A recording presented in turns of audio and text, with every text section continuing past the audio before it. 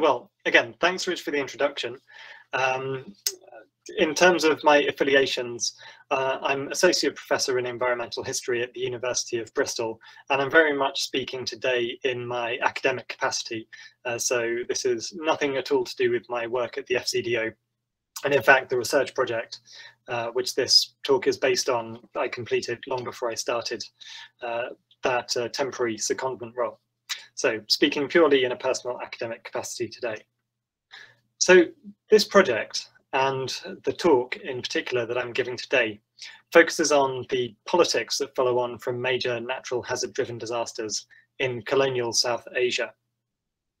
And I started this project because there was a series of really big earthquakes in uh, the countries that are now India, Pakistan, Myanmar and Nepal uh, and Bangladesh uh, between about the 1890s and the 1930s, which was a really interesting period for changing relations between the colonial state and uh, the various peoples who lived there, particularly through the growth of anti-colonial nationalist movements. Uh, and I began this project with the question, all these big earthquakes must have changed something politically. So what did they change, how much and why? But I found quickly that actually there was very little of what you might call overt political change after these earthquakes. And the question quickly shifted to why, why wasn't there political change? What was it that the colonial states, state and other actors were doing during this period, which tended towards stabilization of what was frankly a time of massive political upheaval? Why were these earthquakes apparent oases of, uh, of a lack of political dissent? Uh, and the answer that I'm going to put forward today really lies in the dynamic between the colonial government and the Indian nationalist movement as particularly represented and driven by the Indian National Congress, which was uh, India's premier nationalist body. But before getting into the specifics of the talk, let me just outline briefly what the project was and, and, make some acknowledgements. So the project Broken Ground, uh, formally speaking, ran from 2017 to 2020 as you can tell, I'm still working on generating the outputs, uh, writing up and continuing to give talks based on this research. It was funded by the Arts and Humanities Research Council through the GCRF, uh, and I partnered with the NGO NSET, the National Society for Earthquake Technology in Kathmandu, which I dare say some of you know and perhaps have worked with yourselves.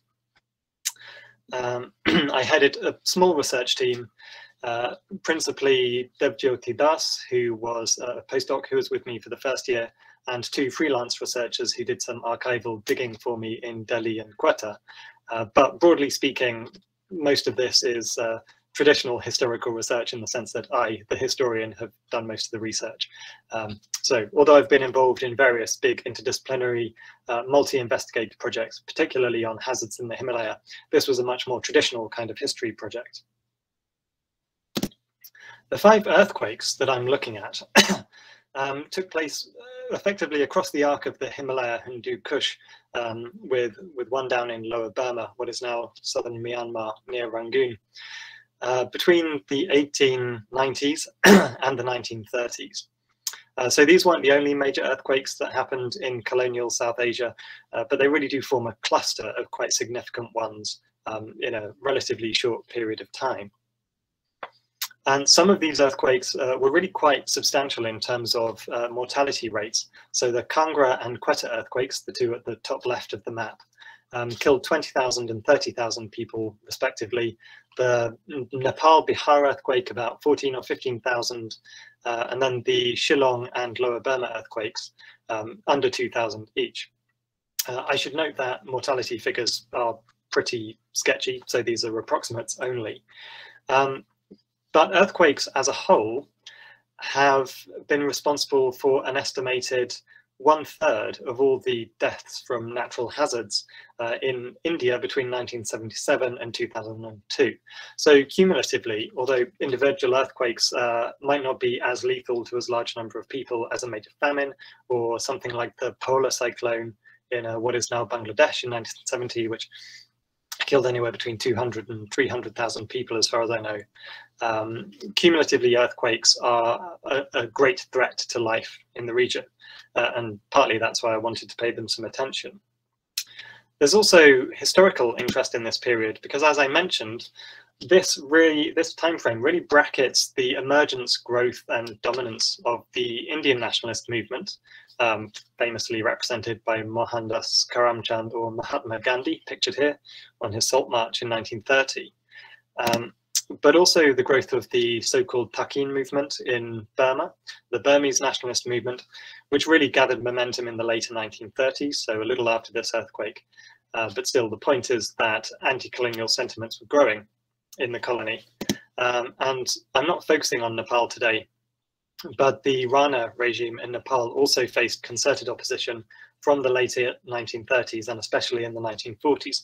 So really this is a time of huge political upheaval and huge change across uh, South Asia, across the subcontinent. As I mentioned, this is a fairly traditional historical project in some ways, and I've used some of the traditional archives, notably the British Library collections here in London, um, plus state archives in India, Pakistan, Myanmar, also Nepal, but as I said, I'm not discussing Nepal, so I've left that off here. Um, I've also used a large number of published sources, particularly publications which both the colonial government and the Congress um, produced, which I'm especially going to examine today in terms of narratives of post-earthquake situations, private memoirs and uh, newspapers. There are also some other archives like the Church Missionary Society archive uh, and Kew Gardens archives, which have informed other uh, sort of spin-off mini projects that have come out of this, which are more focused on cultural understanding and experiences of earthquakes rather than the politics. Uh, I'd be more than happy to talk about those in the Q&A if anyone's interested, but I'm not going to focus on them in this talk. So it's worth noting that I don't have all the information I would like to have about these earthquakes. And the nature of archival research is you're dependent on what somebody decided was worth recording 100 years ago. So for example, I can't say with any degree of certainty how many buildings were damaged in these colonial earthquakes because the colonial Indian government didn't do building censuses. And in fact, after the Bihar earthquake, the official report on the hazard event um, says explicitly, we did not try and count the buildings because we had no idea. Um, as I've already indicated, uh, mortality rates were calculated in various ways and not always necessarily 100% uh, robust and uh, do not take account of indirect mortality. So I'm not going to get into this either. I keep trailing things I'm not talking about. One of those things is uh, the enormous impact that the Bihar earthquake particularly had on uh, public health, human health, and increases in disease incidence in the years afterwards. So my, my mortality figures are just people who are directly killed during the shaking or immediately afterwards. What I am going to talk about today follows three follows four parts. And uh, I'm going to take a broadly narrative approach to this, not 100% chronological, uh, but I'm largely going to tell you the story of what the colonial government and what nationalists did in the wake of these earthquakes and why, and how I think, how and why their interactions tended to produce um, a surprising amount of consensus and stability in what was otherwise an extremely fractious political context.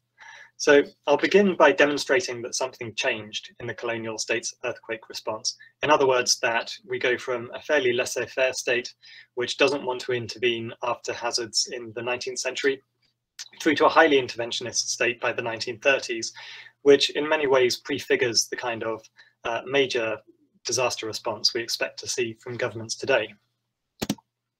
Uh, secondly, I'll look at explaining that change Thirdly, digging into one particular factor, which I think is especially important, and that is the colonialist, colonial nationalist dynamic.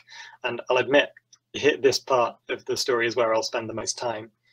Uh, but then finally, I'll look at one instance, the last earthquake of these in Quetta in 1935, um, and think about the way that that dynamic broke down. So how that happened, why that happened, and what were the consequences.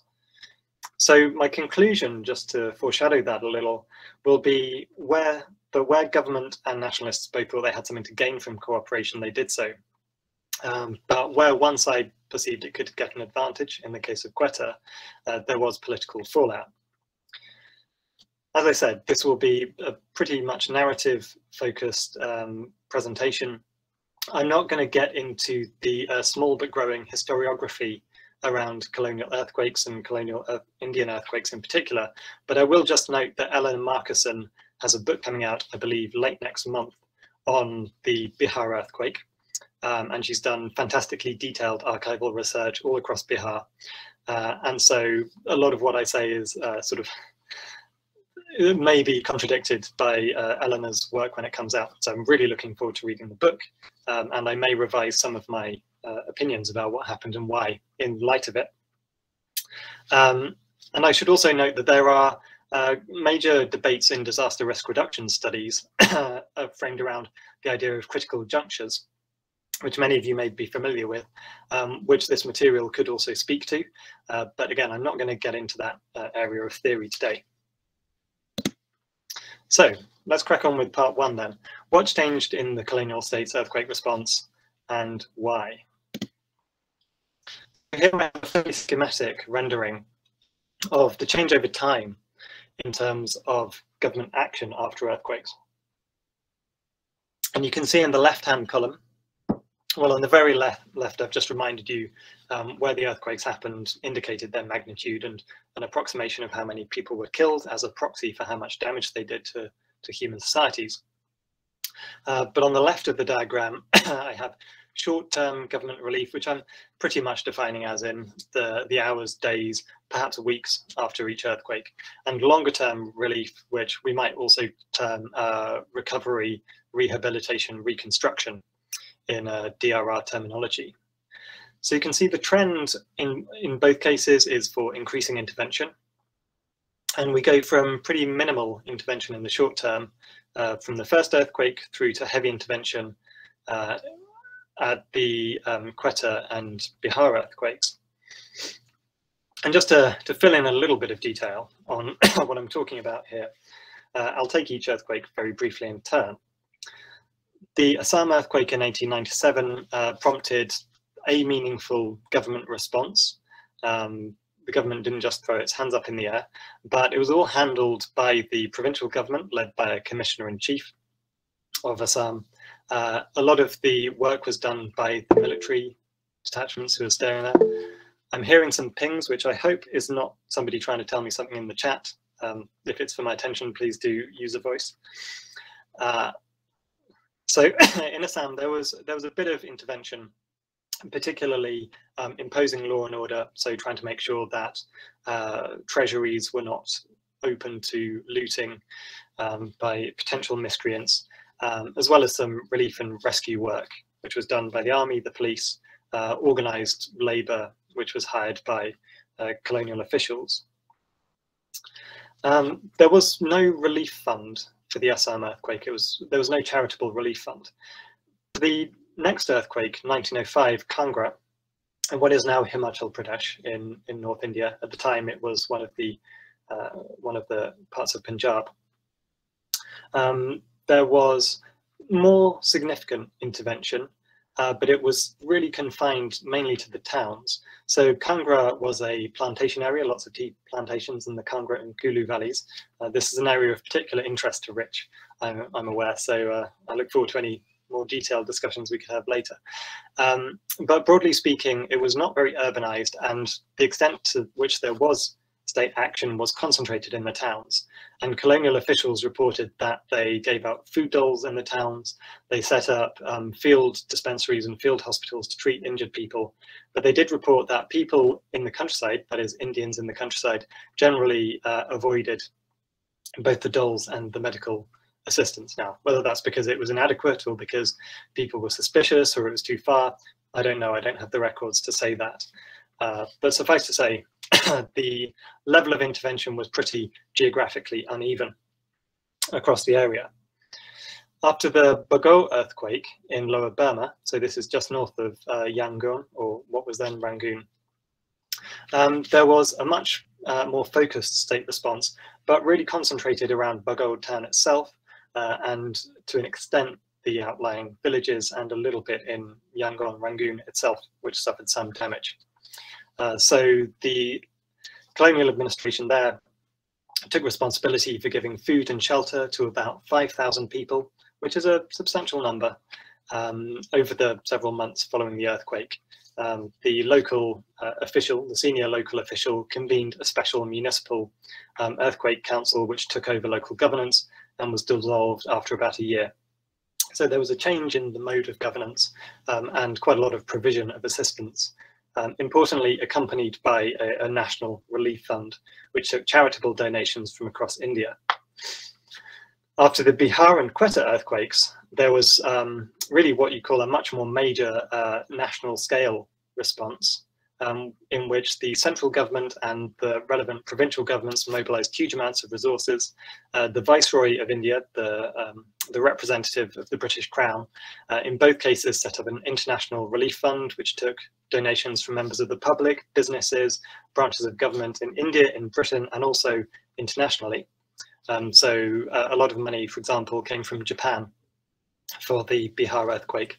And for the Quetta Fund, uh, the the relief fund took donations from foreign governments, including Nazi Germany and fascist Italy, which is a, a little indication of areas of mid 1930s humanitarian internationalism with uh, presumably some quite pointed political overtones.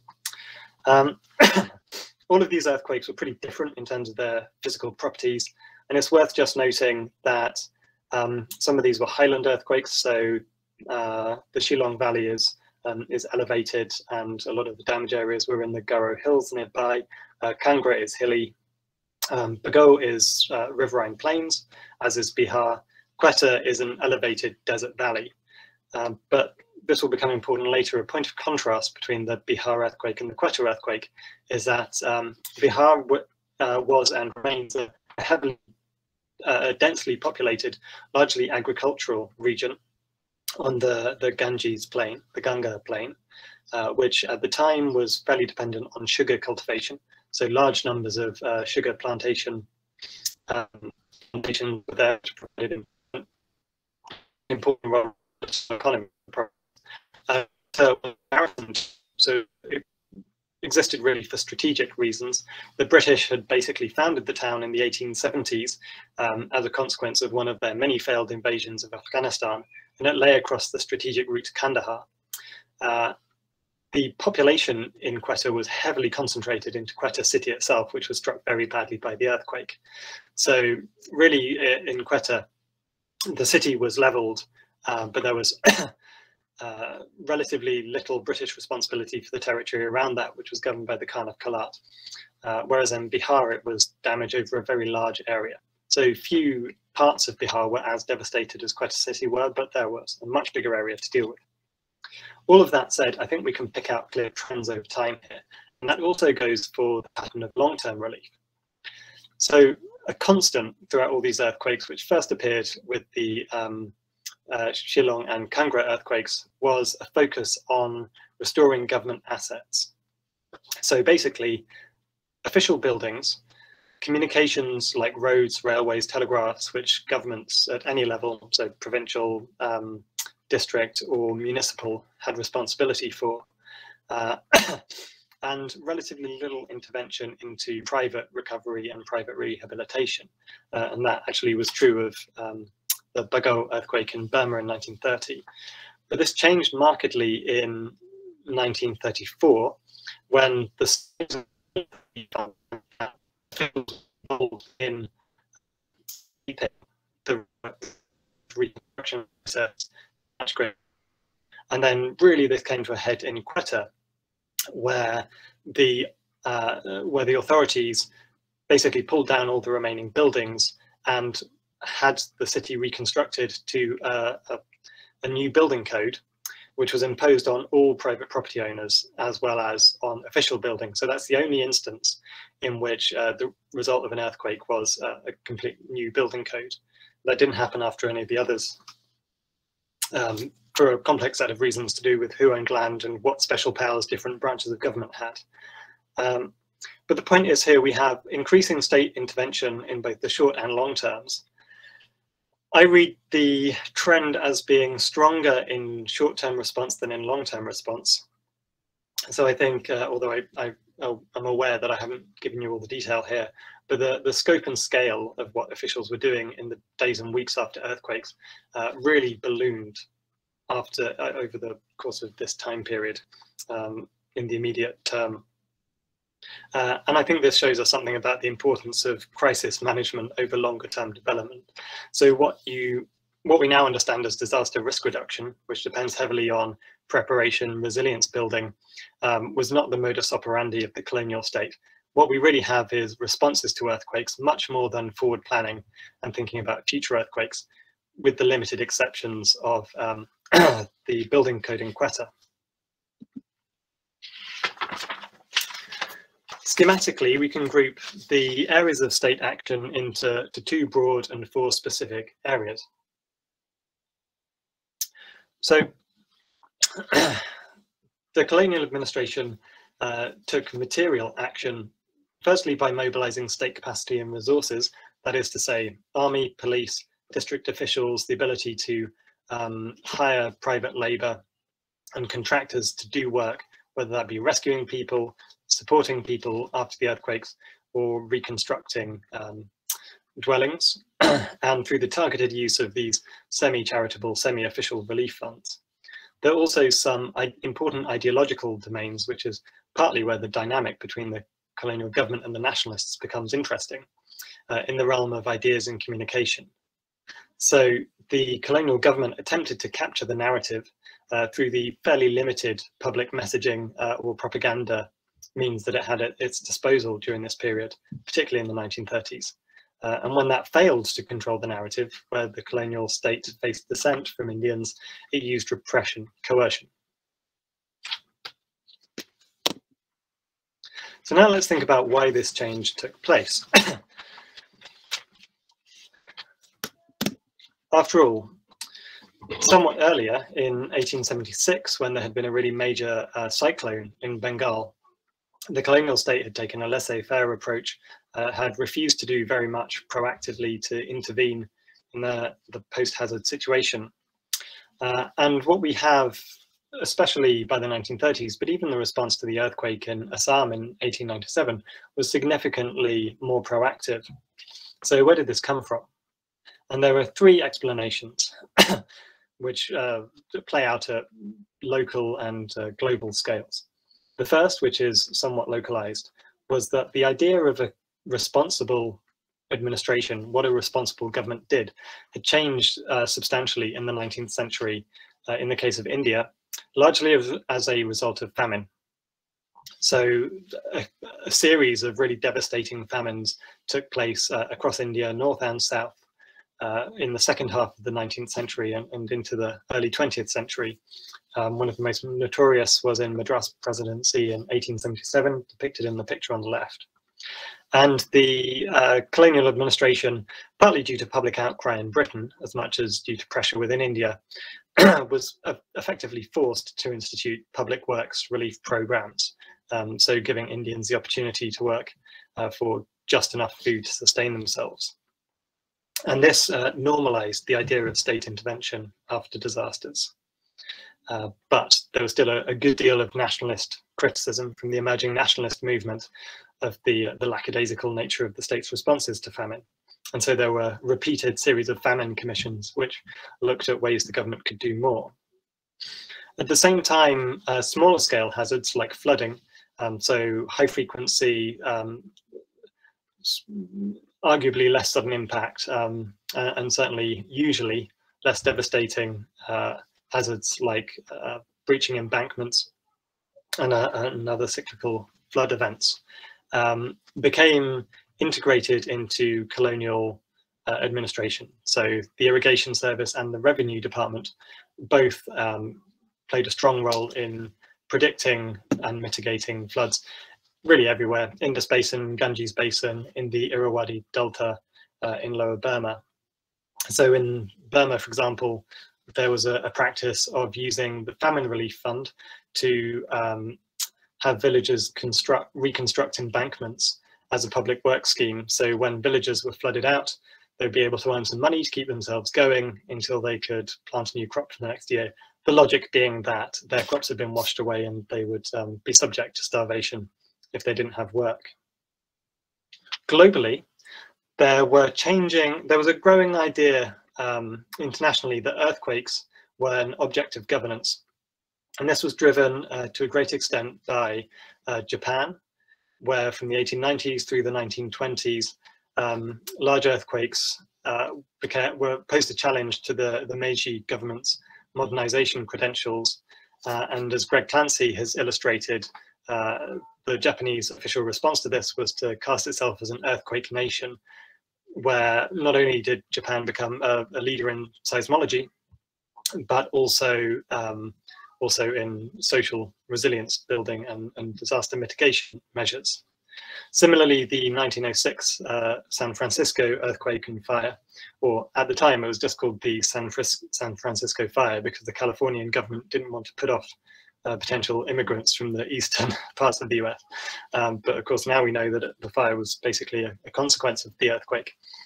Um, and colonial officials in India were aware of these examples and they understood that governments elsewhere uh, were taking much more proactive stances when it came to natural hazard driven disasters. And then thirdly and finally was the dynamic between the colonial government and Indian nationalists. So as I've trailed, I'm going to focus on this third explanation um, to help us understand why political stability more than change uh, followed on from major hazard-driven upheaval. But just before I get into that dynamic, I just uh, want to sense check this idea I have that the nationalist movement uh, at least correlates with the growth of state action.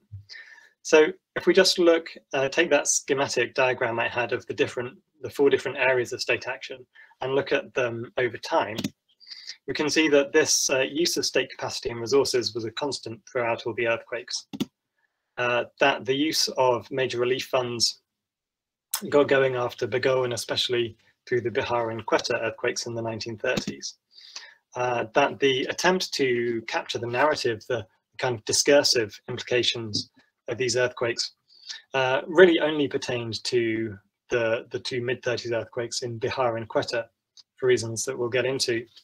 Uh, and then finally, the use of repression really only appeared after the Quetta earthquake. And if we map this change against the growth of the anti-colonial nationalist movement, we'll see there's a correlation. So at the time of the 1897 and 1905 earthquakes, there was no significant nationalist movement of the type that um, we got later in the interwar period. Um, in fact, the Kangra earthquake in 1905 took place in April, just a few months before Lord Curzon, the Viceroy, uh, partitioned Bengal, uh, which in many ways was the kind of the, the spark that lit the fire, to uh, use a hackneyed metaphor, of the nationalist movement. So if it had taken place a year later, it might have become a little more politicized. But the point was, there were I found no evidence that there was um, serious dissent against the colonial government as a result of its management, um, or at least no evidence that colonial officials were worried about dissent, which they did for the later earthquakes.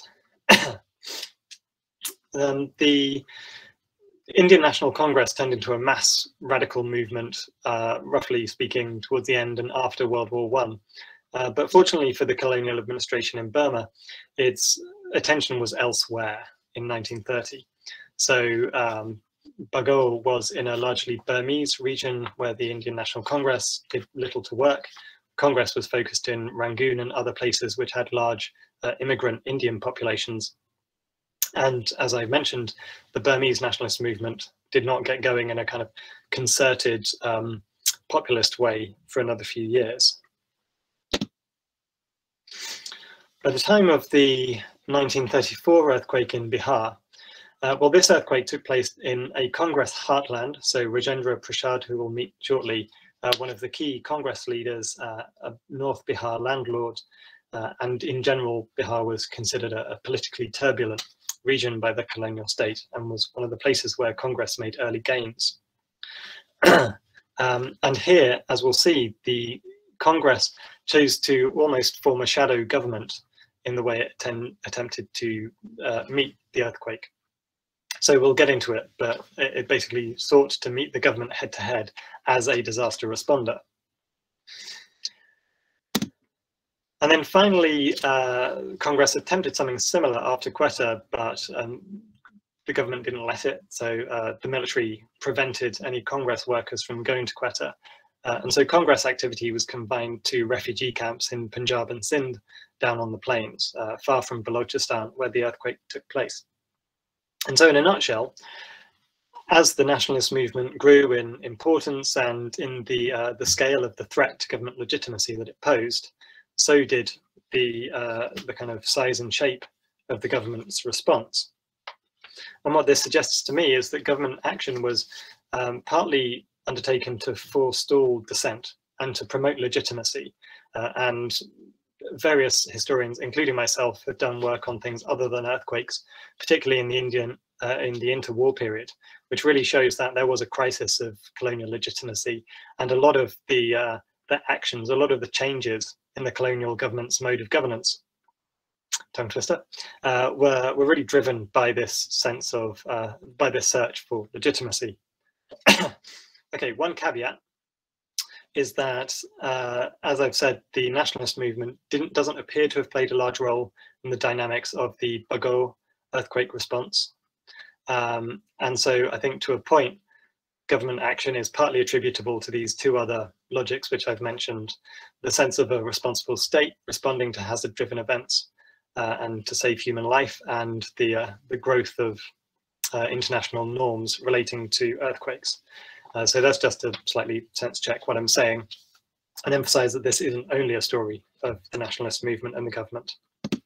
That said, let's see how this dynamic relationship between the two sides played out in three main ways. Firstly, I'll look at relief funds, then I'll look at attempted narrative capture, uh, and as a kind of subsidiary of narrative capture, I'll think about ideas about nature. And really the message I want to get across here is that there were important shared priorities, shared ideas and values, which both sides had, um, which limited the fallout and tended to prompt uh, cooperation rather than contestation in a lot of contexts. So here's Gandhi again, leading the salt march again, because it's a basically a, a very visually attractive uh, event, so it's easy to find good pictures of. I've mentioned that by the 1930s, the Indian National Congress had transformed itself from basically an elite talking shop, which had a basically loyalist stance to the colonial administration, um, to a mass movement which was radical, demanded uh, independence from Britain rather than progressive constitutional reforms. Uh, and in this, this was in the context by the 1930s of the global financial crisis, um, something we can probably sympathize with today, uh, which again really undermined a lot of the uh, credibility that the colonial administration had previously claimed uh, as a manager of the Indian economy. so lots of scholars have written about this period as, as a period of generalized challenge to a colonial rule, as particularly represented by the Congress and other anti-colonial groups. And it is worth noting that uh, there's a marked change in tone of the way officials thought about, or at least talked about their responses to these earthquakes in um, confidential official correspondence. So I haven't found anything in uh, the records for the Assam or Kangra earthquakes. And with the Kangra earthquake, I, I managed to get quite a lot of um, non-published correspondence less so for Assam. Uh, but after the Kangra earthquake, there's no real sense that uh, they, there's likely to be any political fallout from the event. Uh, in fact, after the Assam earthquake, there were um, some rumblings about the fact that there was a Jubilee collection being held at the same time and that it would be unseemly to hold uh, a celebration of the British royal family when Indians were suffering, but uh, that was about it. Um, after Kangra, no sense that there would be serious political agitation. Um, after the lower Burma earthquake, the government in Burma had begun to worry a little bit about uh, so-called disloyalty or so-called troublemakers. Um, and the governor of Burma noted, for example, that a couple of Buddhist monks were going around the countryside uh, saying that the Burmese people deserved this earthquake because they'd um, accepted something called diarchy, which was a, a split of responsibilities between um, provincial governments and the central government, which was designed to uh, give some better representation to uh, Indian um, communities, Indian publics, uh, but was very unpopular in Burma. um, but then after the Bihar earthquake, the Home Department of the central government issued direct instructions to the provincial government not to allow agitators to use the post-earthquake situation to try and foment dissent and agitation against the government. Um, and the governor of Bihar, like all provincial governors, submitted fortnightly reports on political activities uh, and for several months kept track of who was saying what in Bihar that could be seen as um, attempts to promote anti an anti-government agenda. so there's a, a, real marked change in in the the way that the colonial government thought about nationalist activity, and indeed, I think it's safe to say, the scale of uh, nationalist activity as well.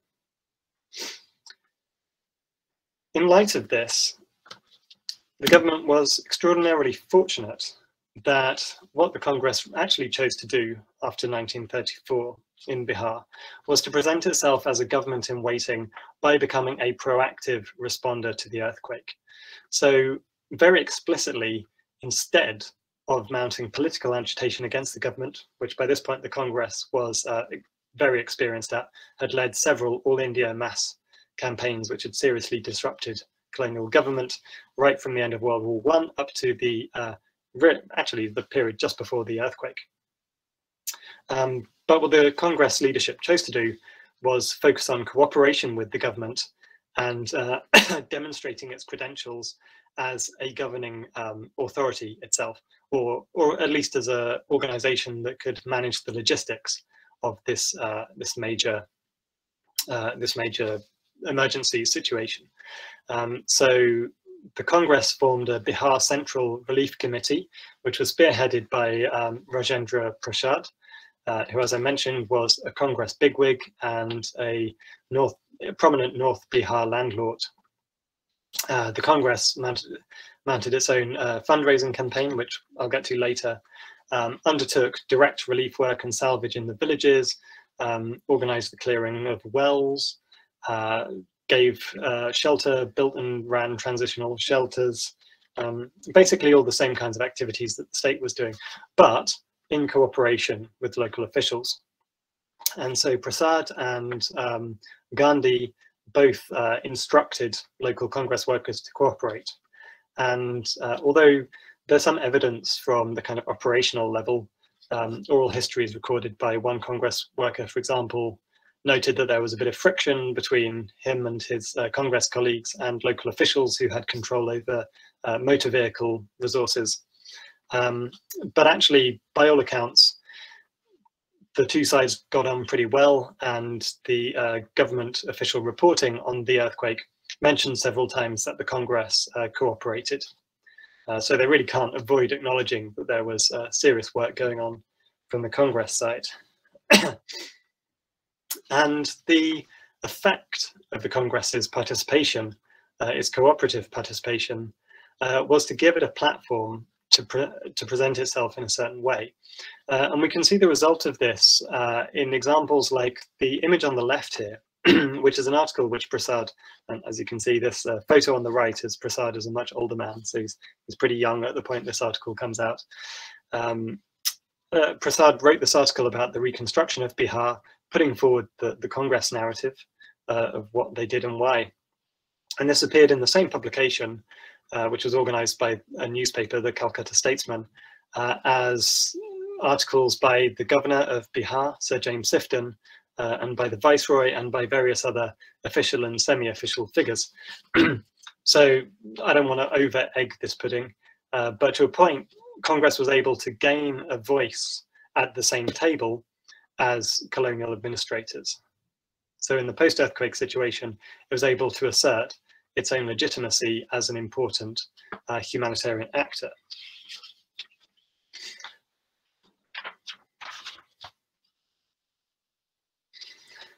Let's go on now to look uh, at the other um, material domain I've noted, which is the targeted use of relief funds. So just pause a moment to give some backgrounds on, background on these funds. Um, these were ostensibly charitable funds. So as I said, uh, they were set up by senior government officials, but they took donations largely from private citizens as, as well as from various branches of government, um, businesses and so on, as well as foreign governments. Uh, but the way they were actually managed was through committees that had heavy official representation. Officials would periodically and disingenuously claim that the funds did not uh, were not government entities and didn't serve the government, but actually officials exercised a lot of control in shaping uh, who got what and why. So they helped set the priorities. These funds were big. Um, the Bihar official fund raised about 6 million rupees, divided among some 2,000 heads of household. The Quetta fund was smaller, so only uh, a million rupees, uh, but was distribu distributed among significantly fewer people, about 26,000 in all. and they had very, uh, I should say, the, the funds were big and complex and uh, served lots of people. But I'm just going to pick out a couple of key features of each fund just to demonstrate the extent to which these uh, mirrored government priorities. Um, so the Bihar Fund had special allocations uh, for two categories. Firstly, for middle class sufferers. And there was a persistent um, discourse, uh, with the exception of Quetta, uh, but in most of the earthquakes, there was a persistent idea that the middle classes had suffered the most. Um, and you can see this headline from the major uh, sort of mainstream publication, Times of India, middle classes worst hit. Um, and the basic idea was that poor people lived in uh, small, lightly built houses, often mud or bamboo, which were um, fairly light, so they're much less likely to kill you if they fell on you, and also were cheap to reconstruct. Basically, the idea was people who didn't have much property didn't have that much to lose from an earthquake, which primarily, primarily destroys property. Uh, and this was just as true in Bihar as it was in Assam uh, some years earlier. now, the Bihar Official Relief Fund made special allocations to middle class survivors uh, for hiring labor to reconstruct their houses. And the logic was this poor people would reconstruct their houses themselves, and that was fine. So they didn't need, they just needed money for materials. They didn't need any um, any money to pay labor. Whereas middle class people would lose their social status if they undertook manual labor themselves. It, um, it would breach various um, social taboos.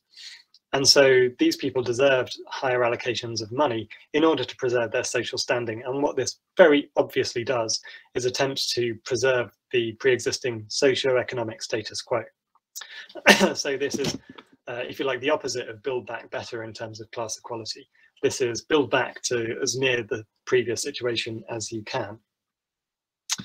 Uh, similarly, the relief fund provided paid special attention to the sugar economy I mentioned earlier that uh, Bihar was home to many sugar plantations. Previously it was indigo, it became sugar later on uh, when indigo, the global indigo market collapsed. Um, and these uh, plantations were often owned by Europeans, often managed by Europeans, so it served racialized as well as class interests. and so the relief fund did uh, various activities like um, try to find ways to process sugarcane.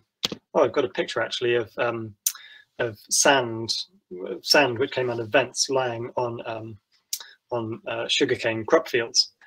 So uh, the fund provided for clearing the sand from the field so that the cane could be harvested, for processing and crushing the cane, uh, partly by transporting it to factories outside the damaged zone, partly by trying to reintroduce uh, previous sort of pre-plantation agriculture methods of sugarcane crushing. Uh, so this was really geared towards the economic recovery, uh, again, in a way that uh, benefited the social status quo, the, the economic status quo. After the Quetta earthquake, the uh, fund was set up with the explicit uh, desire to restore a person to their status in life, uh, but not improve it. So as one report put it, a hotel owner was given a hotel a Tonga driver, that is to say a horse-drawn um, buggy driver, was given a new horse and a new Tonga, but not the owner was given that, but not the driver. So nobody should be seen to improve their status through the use of these relief funds. There was, however, a huge amount of racial bias, again, very explicit this time, racial bias in the Quetta Fund. Um, because Quetta was a garrison town and a hill station, and the earthquake happened in summer, so there were lots of uh, white Europeans there, white British there, who were termed Europeans in uh, colonial lingo. Um, they were given uh, much more uh, help proportionately compared with Indian survivors. Um, so a ship, the SS Karanja, was specially chartered to take survivors from Karachi back to Britain and uh, British survivors uh, continued to be supported by the fund while they were in Britain. Some of them even got passage back to India sometime later when they wanted to go and restart their colonial lives.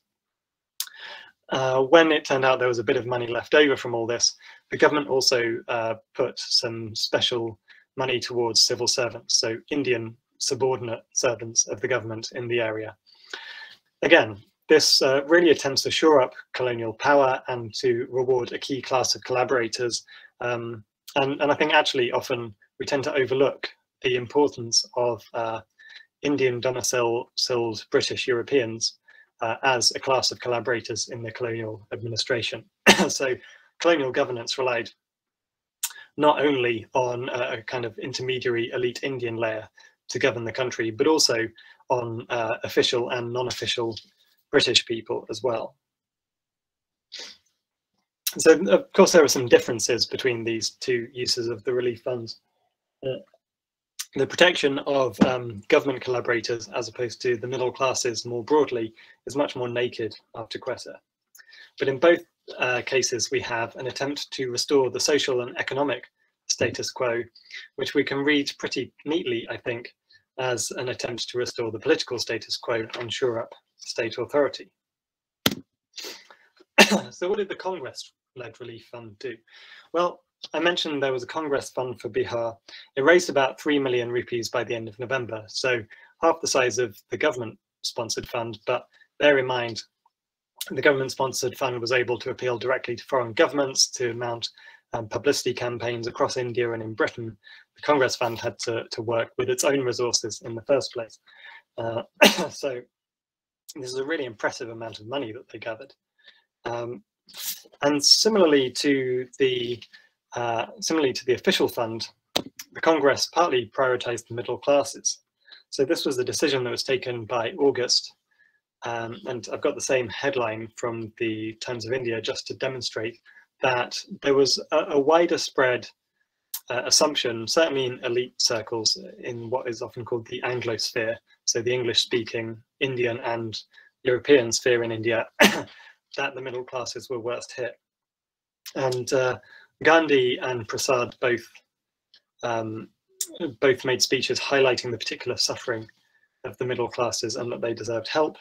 And uh, so by August, the Congress had drawn up a list of middle class families in Bihar who needed special assistance. Um, Gandhi also made some speeches about the poor deserving assistance, but he spoke more about the middle classes as far as I know. So although the Congress was, was a nationalist movement which sought overall to displace the colonial government, uh, they shared some pretty important social values, or at least the ascendant leadership in the Congress did. Uh, and this is an important nuance to add here. The photo on the left here depicts Jawaharlal Nehru, uh, a Congress leader, later India's first prime minister after independence, and Mohandas Gandhi, Mahatma Gandhi. And uh, very broadly speaking, Nehru was associated with the left wing of the Congress, more inclined towards socialism. Gandhi uh, and Prasad were associated with the right wing of Congress, closer to business, uh, more capitalist friendly.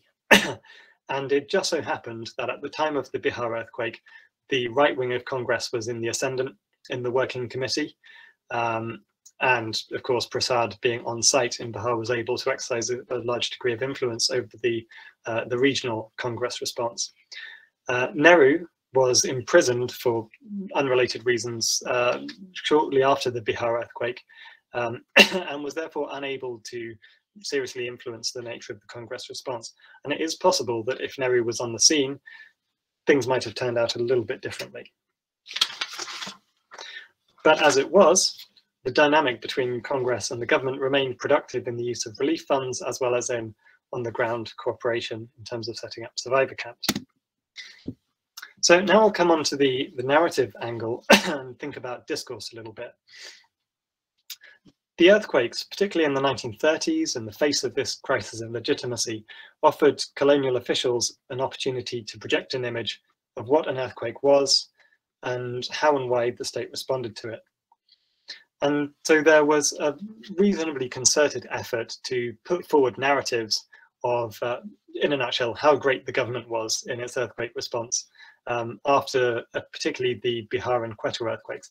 I haven't found equivalents for the earlier earthquakes, which again, I think goes to the, the kind of importance of the nationalist challenge in these two instances. And uh, to kind of crudely summarize, the narrative went like this. Society was getting on with life. The earthquake came, disrupted everything. People were helpless. Officials came in and saved them. And there are pretty explicit quotes, which I'll use to illustrate this. So the report on the left by W.B. Brett, William Bailey Brett, the relief commissioner that the Bihar government appointed to take charge of uh, relief measures, wrote in his published report, the wholesale destruction and the terrifying phenomena which accompanied the earthquake left the mass of people stunned and dazed.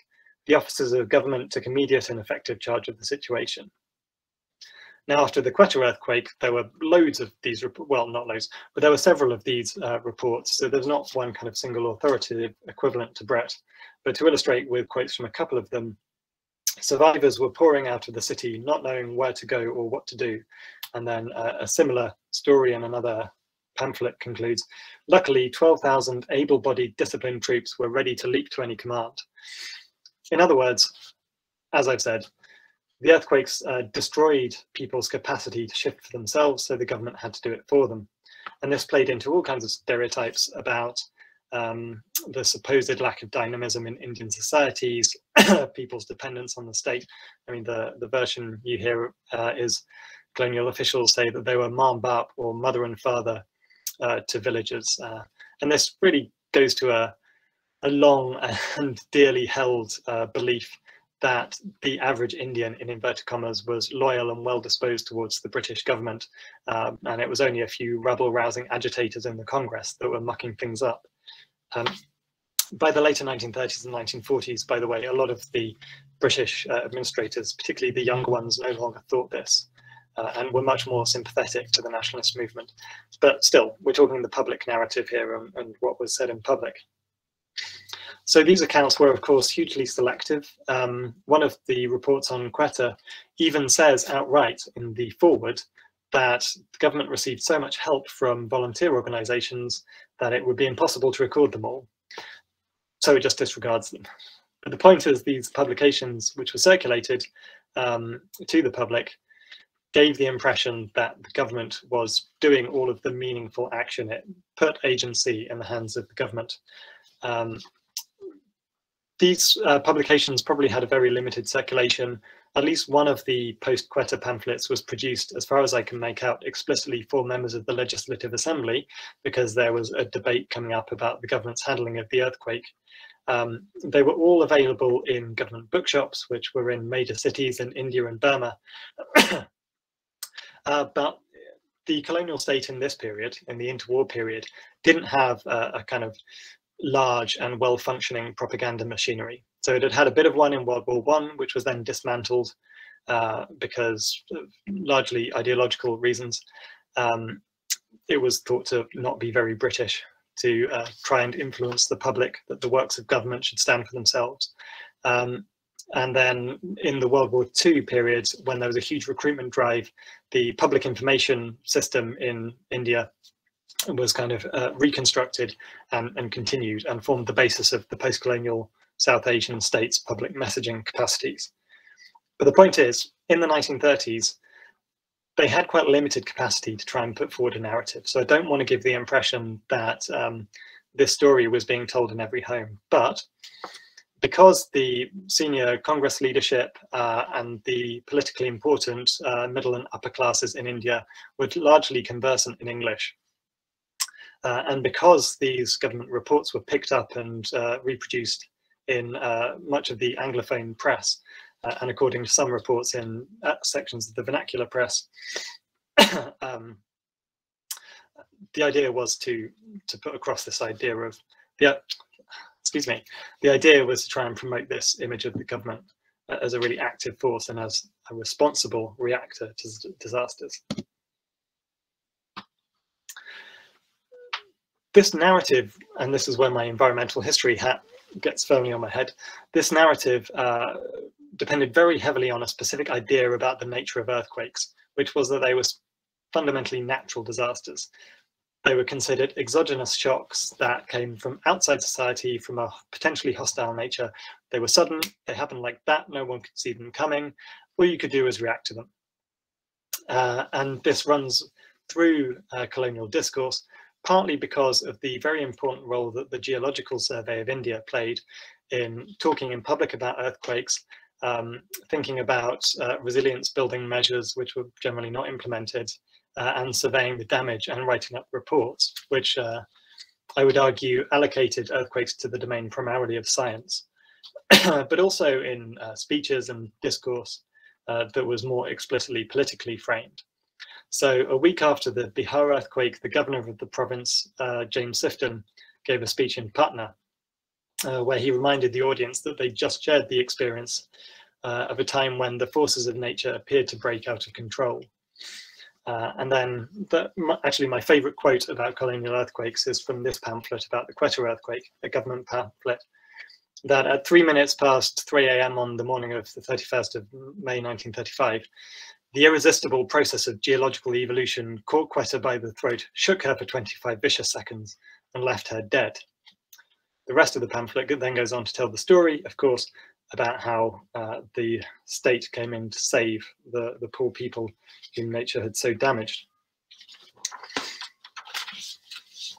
Now, government discourses were challenged.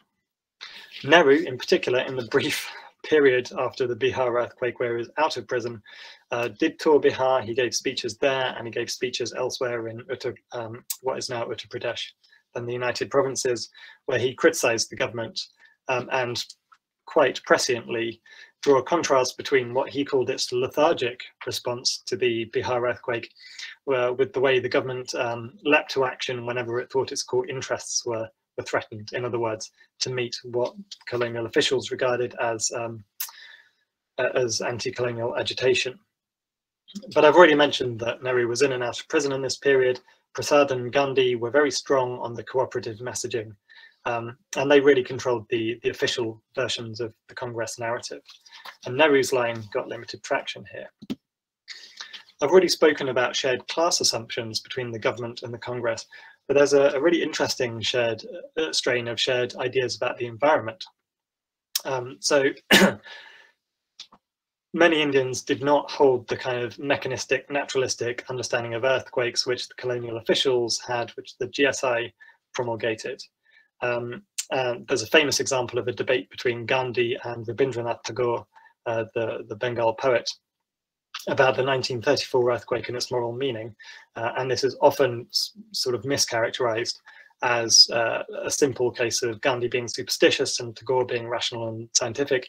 It's a bit more complicated than that. Uh, but very broadly speaking, the point is that Indians weren't necessarily predisposed towards naturalistic explanations, uh, and there are lots of examples. Eleanor Markson, again, has done work on this, um, of people um, talking about earthquakes in terms of astrology, the alignment of heavenly bodies. Um, in Nepal, actually, uh, there's uh, somewhat unsurprisingly a huge amount of um, uh, religious or spiritual interpretations of what the earthquake was and how it worked. Uh, which was embedded in state discourse because the Rana government had uh, sort of Hindu credentials. Uh, but I can't quite get into that at the moment. Anyway, the point is, there was also a substantial discourse, um, again, emanating from Prasad and people around him, which was naturalistic.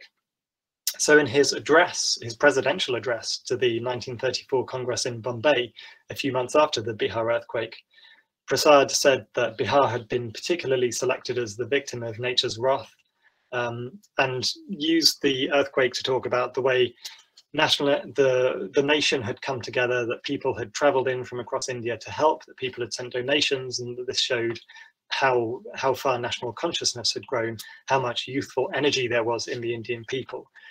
He didn't use it to criticize the british government.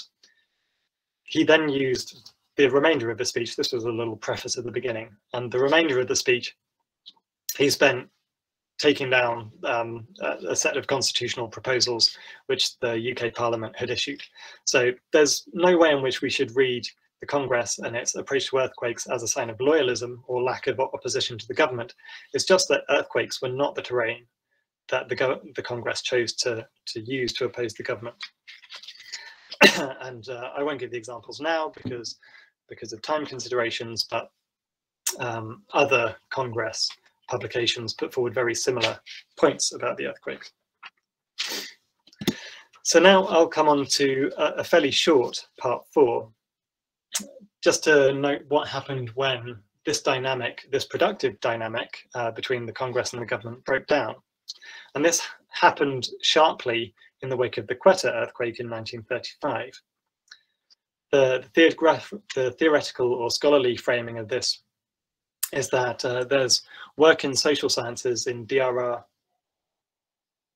on the extent to which um, repression, authoritarian governments increase their use of uh, oppression uh, and coercion after um, natural hazards.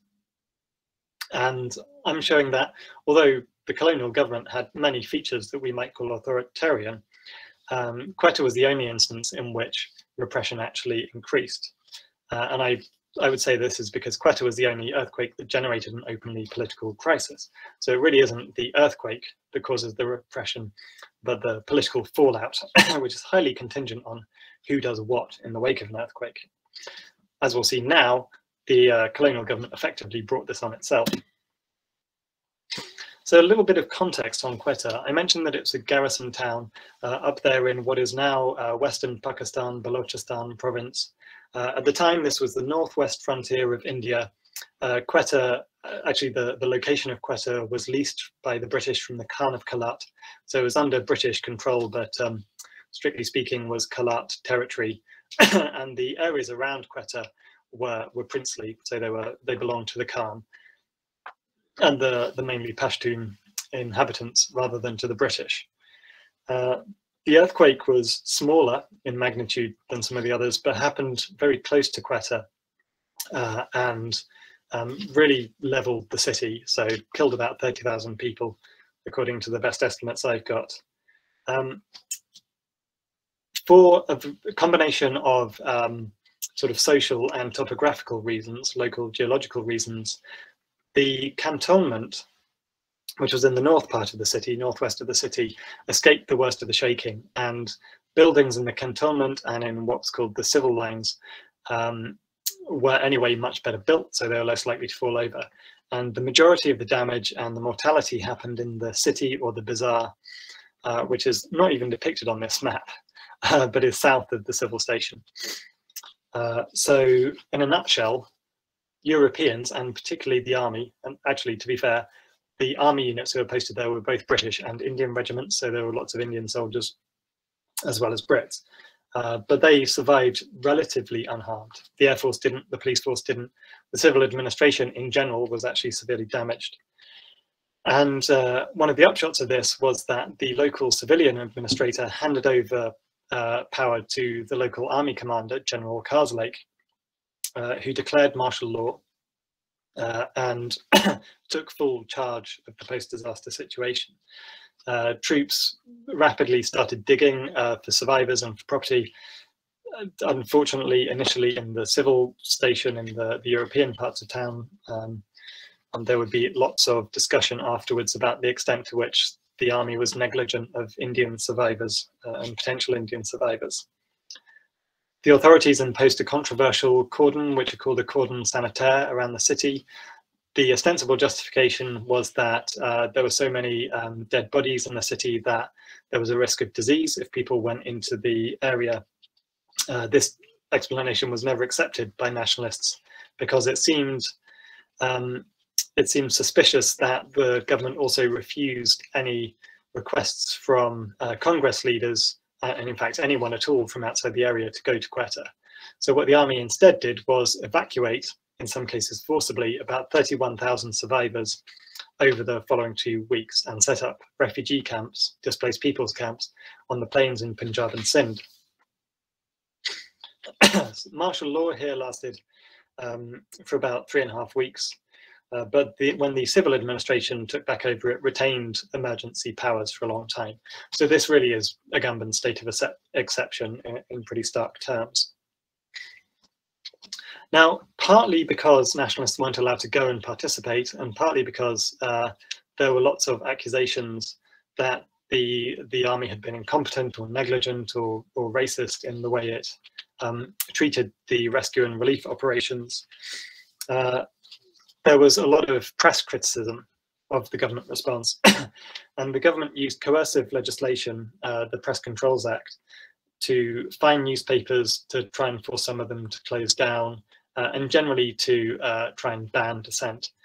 And going through the stories that the government considered uh, were harmful, so very few of them seem wildly unbalanced to me with a kind of present day uh, reading eye. But there's uh, good research that show, not by me, uh, but scholarship shows that the colonial government was extremely sensitive to criticism from Indians, particularly after the 1857 um, uh, conflict, variously called the First Indian War of Independence or the Great Mutiny, depending on your ideological preferences, um, which basically read a lack of love for the British government as a sign of disloyalty, of, of agitation, of uh, bad intentions or of hostile intentions. Uh, and so this really underpinned the way that they interpreted any criticism of the government relief effort. Now, it's important to distinguish here.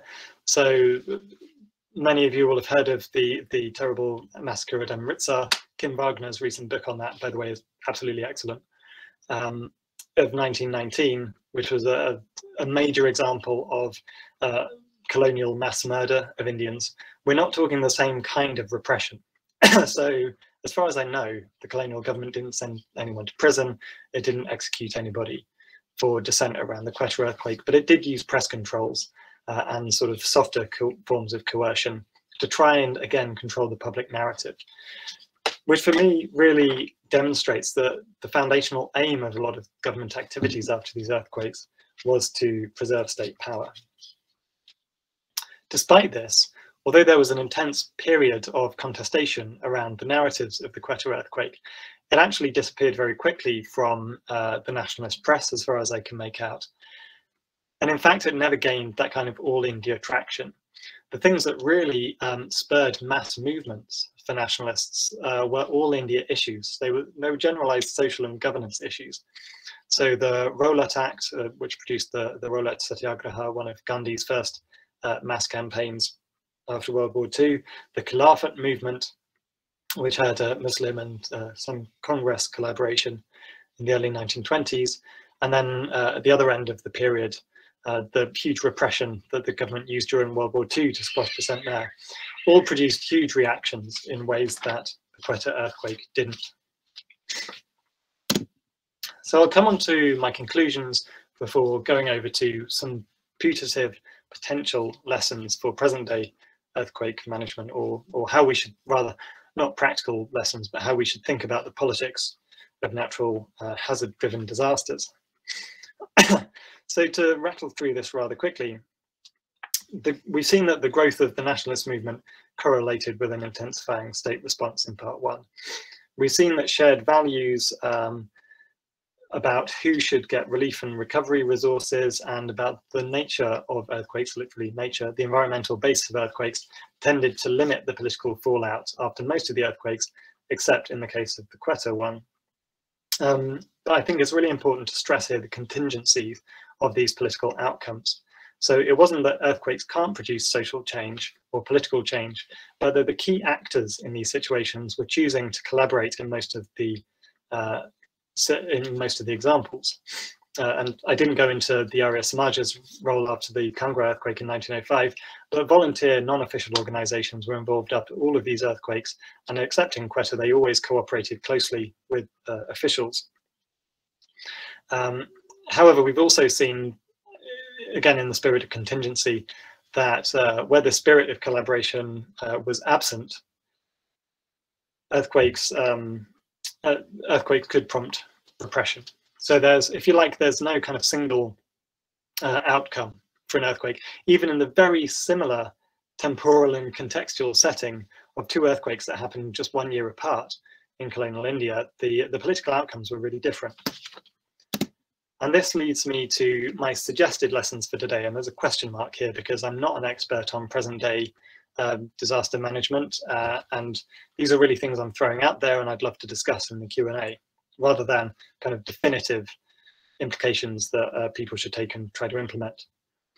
So firstly, as I've just indicated, context is very nearly everything when it comes to interpreting uh, disaster politics.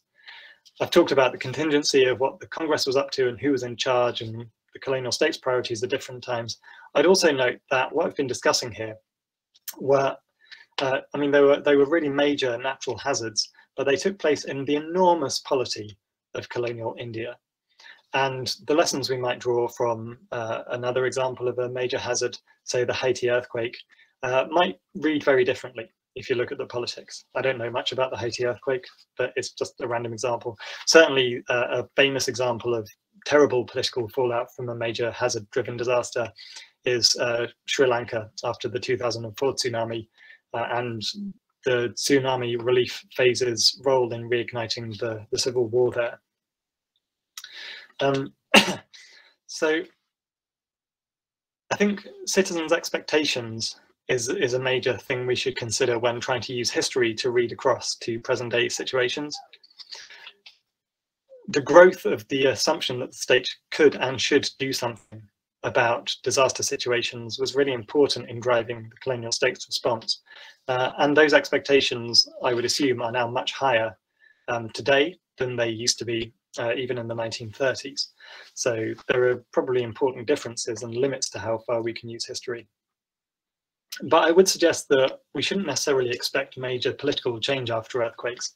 Uh, and although I promise not to talk about DRR theory, there is a debate in DRR theory about the extent to which earthquakes tend to cause or catalyze political change. Um, and even people who've promoted the idea of the critical juncture uh, have tended to find that uh, they didn't occur in the specific case studies that um, scholars have looked at. And I would suggest actually we should think much more about collaboration and about the, the stakes that different actors after earthquakes or after major disasters have in trying to restore the status quo ante. So I think all that's left for me to do is say thank you uh, and I look forward to the Q&A. I'll stop sharing my screen at this point and come back to, here we are. Thank you, Dan. Uh, really inspiring, and, and it, certainly in my own head, it, it's posed quite a lot of questions and, and sort of reflections. But I, am I'm, I'm aware there's a, a, fair number of questions that have been sort of posted. So, um, one that just most recent one that struck me is somebody who's actually a resident of Quetta, and they said our grandparents always shared how massive the 1935 earthquake was. Mm. Uh, mostly the discussion was around the changing building codes post 1935 there's always been this paranoia. Whenever Quetta is hit by an earthquake, every earthquake was compared to the 1935 earthquake. It just shows how big of an aftershock the earthquake was left. So that, that was an observation by one of the audience members. So I think that comes back to your points about the, the need to contextualize and look backwards in, in, the, in order that we can manage the current day as well and going forward. Uh, but in terms of questions, we had one question from the audience and they said, my question is how important is the historical perspective in the contemporary disaster risk uh, planning in the Himalayan region and the greater Asian region? So quite a large question for you there.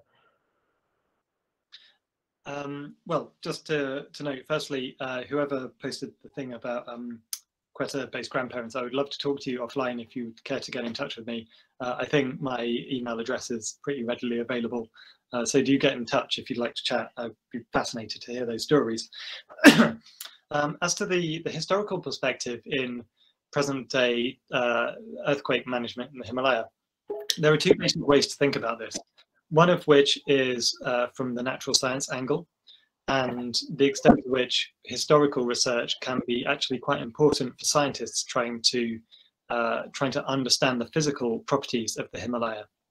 Uh, in a nutshell, good instrumental records only go back a, a little over 100 years. Um, and earthquakes typically have long return periods, especially for major earthquakes.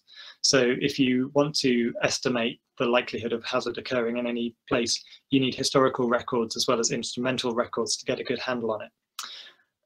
as for the extent to which the kind of social or political history of these earthquakes informs the present day, I'm not, again, I'm not an expert on um, on this. And I, I would also just mention that I haven't done any collaborative work with the Indian or Pakistani or indeed Nepali disaster management organizations. Uh, I know that NSET, my partner on the project, were interested in talking to me precisely because they felt that uh, the historical dimensions of Nepal's vulnerability to earthquakes doesn't generally get enough attention. So I would venture to say that people probably don't think a lot about history uh, at the level of sort of major major NGOs, major civil society organizations, international responders, uh, and government agencies.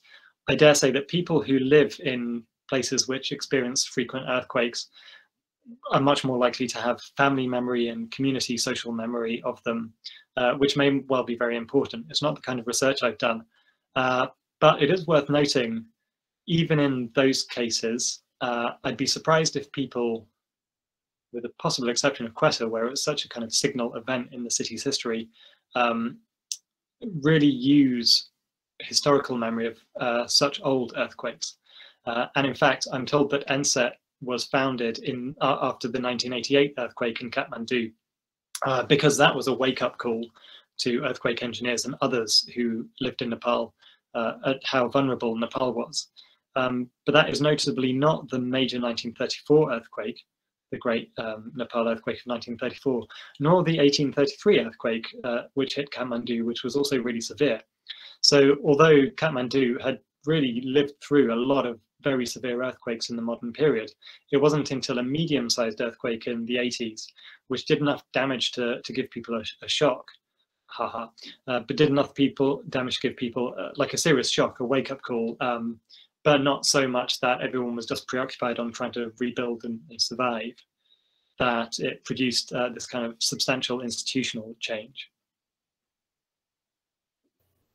Thank you, Dan. We, we've also had a question from one of my colleagues, Heather, which you may wish to pose your question. Um, hello, um, yeah, so I was actually asking a question uh, which I think might be helpful to students as well, which was uh, thinking about the uh, research um, methods type, side of things in terms of using the archives. And if you, uh, so there's quite a few of our students in the audience. Some some might be using archives for various different uh, reasons for dissertation research. And I was wondering if you might be able to elaborate from your experience some of the advantages and drawbacks of using archives. That that would be in relation both to the uh, disaster side and actually how those were measured, but also for understanding some of the biases you talked about in relation to um, race and class. Mm. So the, both the social side as well as the environmental side, I guess. Well, it's uh, amazing because that's a huge amount information and they're super irritating you want for any given project. Um, if anyone is interested in um, a sort of historical geography approach to these earthquakes, um, the Indian National Archives has an online platform called Abhilekh Patal, which is uh, is pretty good. They've got a fair amount of stuff digitized. It's reasonably user friendly. Uh, it's free, so I definitely recommend that because a lot of that material hasn't been extensively used. If you can get to the British Library, there's plenty of stuff there. Um, but this is all basically official correspondence, and if you want to look at what ordinary people thought and felt, you have to go um, the Mission Archive in Birmingham has a lot of material. So few ways that I found good source material in English that talks about people's experiences more than about um, uh, the kind of management and response. For anyone who's interested in the physical properties of the hazards, uh, you don't necessarily need to do archives because the GSI have done it for you. So each of these earthquakes, with the exception of the Bago earthquake, which I, have never never found the report if there was one, um, the GSI produced a fairly comprehensive report on their understanding of the, the physical science basis of the earthquakes are in each case. Um, and seismologists that I've worked with still read, uh, particularly Oldham's report on the 1897 earthquake, uh, as a kind of not just a landmark text in the history of seismology, but something that contains useful, important information.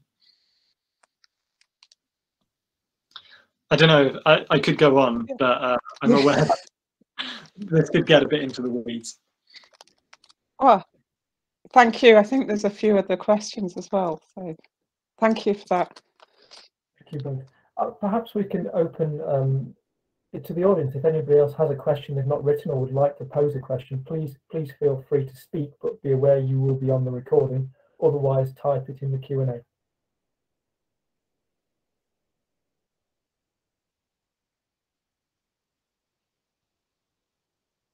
Okay, well, perhaps while people are thinking, um, one of my initial questions. Oh, we've, someone's raised a hand.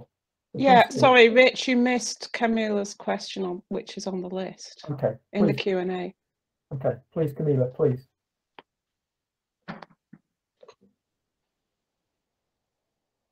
You're muted.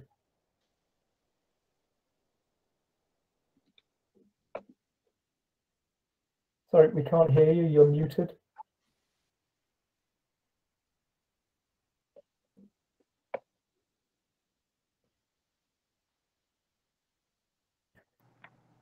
Sorry, can you hear me now? We can. No. It's actually Google permissions. Um, anyway, there we go. That's fine. Sorry. Thank you very much, Dan. That was super interesting. Um, I had well, lots of questions, but I don't want to take up all the time. Um, I guess my, my first one was around um, whether you've studied any of the, the later earthquakes, and, and particularly the 1945 earthquake offshore Baluchistan, um, and whether you had any observations about the responses to that, because I guess that comes at a pretty interesting point in the um, yeah collapse of the colonial government. So I would be interested in, in hearing what you think about that, or whether you yeah have had any investigations in that. Um, um, thanks, Camilla. The short answer is no, not much. Uh, I haven't found much in the way of archival sources, which is a big part of it. Um, I also understand that, as experienced by people on land, that was that largely came in the shape of a tsunami, and it hit the Makran coast, which was, and with the exception of Port, remains pretty sparsely populated. Uh, it also wasn't in British territory, so this was, unless I'm mistaken, the Khan of Kalat's territory or, or another Baloch um, chieftain. So the British government didn't have responsibility for acting there, and as far as I know, didn't mount a major response. So after Quetta in 1935, uh, as a kind of secondary consideration, the colonial authorities did uh, go out to Kalat villages uh, to try and distribute relief. I don't know that they did anything equivalent in 1945. Probably didn't have the capacity or the interest, frankly, because um, they were dealing with the fallout from World War II and uh, getting ready for imminent decolonization. Cool, thank you. I'll let other people ask their questions rather than asking my second one. Thank you. I'm reading one now from the audience. It says, I have a question relating to the 1897 Assam earthquakes. Politically, in colonial times, what was the response from the government after that earthquake? It can be viewed in different ways, in the sense that how much did it impact the place demographically, geographically, and politically?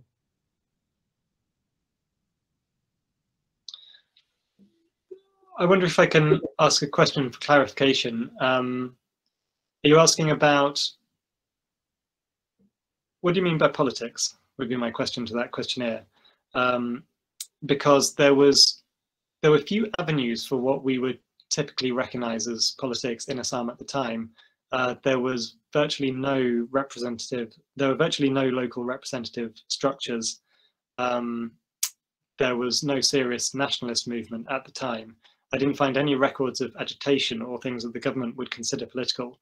Uh, but with a broader definition of politics, we might be thinking about governance. And I noticed that you mentioned demographics there. Is the questioner around? Would they like to expand? They're very welcome to do so, Dan, um, but there's, there's no written text at the moment. Okay. well, in that case, I'll basically say that I found very little evidence of things that the colonial administration thought were political, uh, the 1897 earthquake's been really frustrating to research actually because I just haven't found um, correspondence really.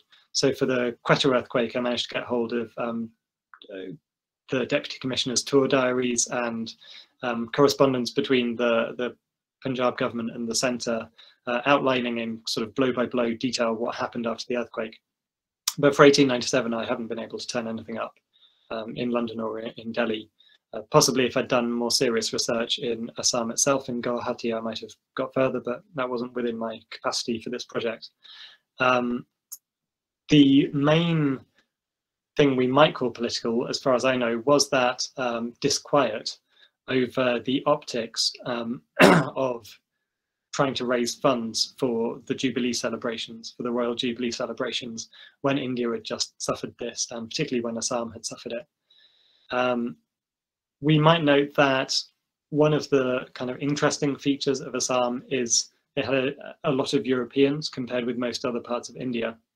In fact, it just so happens that nearly all of these earthquakes hit areas where there were lots of Europeans, which might be because um, the British in India liked hills uh, and the Himalaya, Hindu Kush region is where a lot of the earthquakes happen for plate tectonics reasons.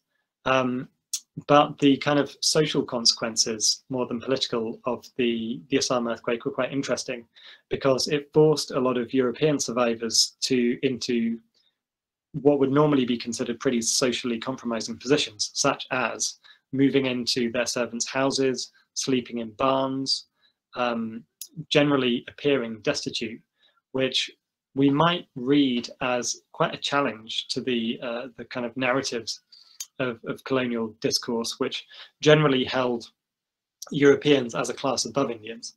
Now, this is complicated because there were what were called poor whites who worked on the railways, and there were lots of examples that Indians could look at of um, of Europeans who didn't have a lot of wealth and power behind them. Uh, but this is an unusual social situation in that the earthquake forced people who were typically the European elite, so elites among Europeans, not just elites compared with most Indians, um, into the position of being um, uh, of being kind of thrown in with everyone else. But still, you see those power dynamics play out because they had servants lodgings to occupy, for instance, and maybe the servants were exiled to the barns to uh, to sleep with animals. Um, so I don't know if you'd call that politics exactly, but certainly the the power dynamics of social uh, of colonial society played out strongly after that earthquake. No demographic change, as far as I could make out. By the way, you mentioned demographics as well. Thank you, Dan. I, I can see another question which which I can read out for you. Do you, do you think that changes in scientific understanding of earthquakes has played a role in changing government uh, response and expectations of those responses? Uh, uh there's a follow-on question, but I'll let you answer that one first.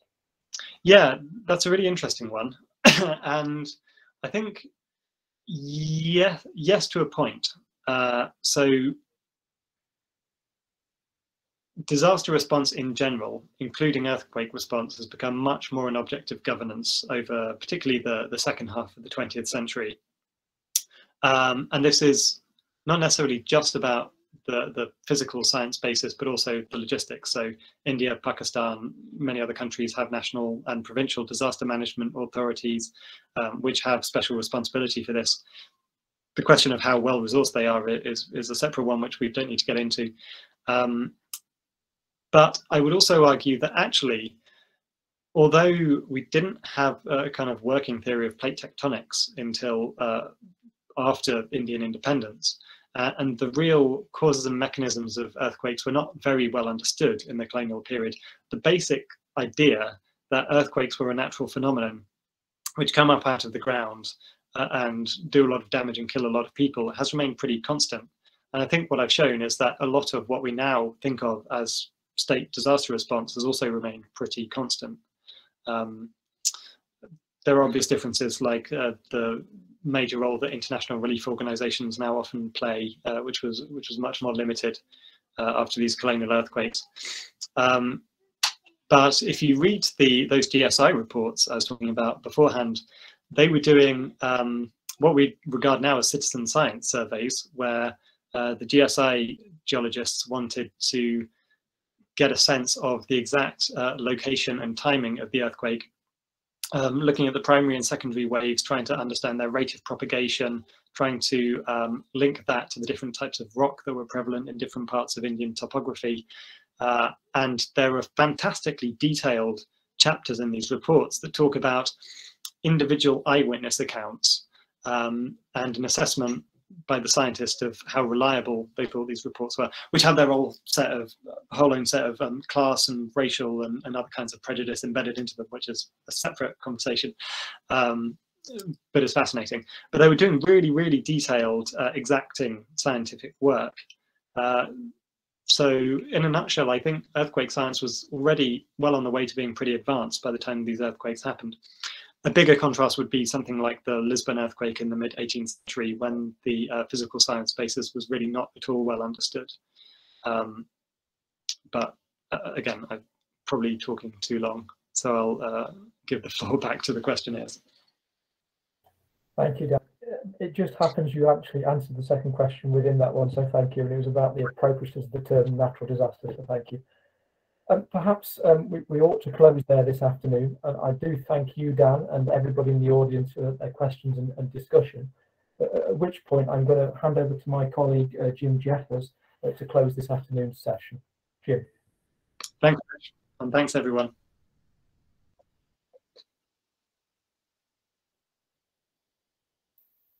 Actually, just before closing, if she's still with us, I'm going to ask um, my colleague Giovanna to mention our um, our next event in the series. If you're still with us, Giovanna.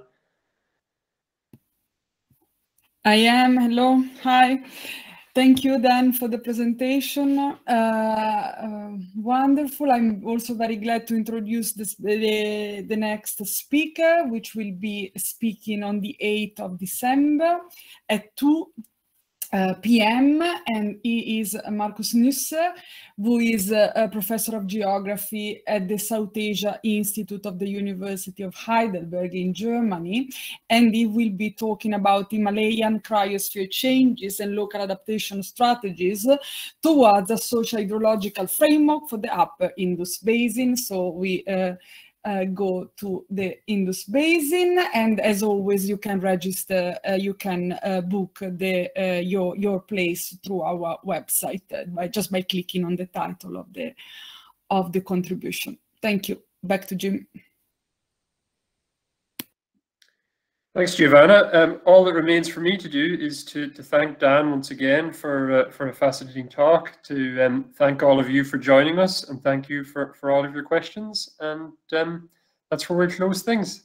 Thank you. Goodbye. Thanks very much, Jim, and thanks, everybody.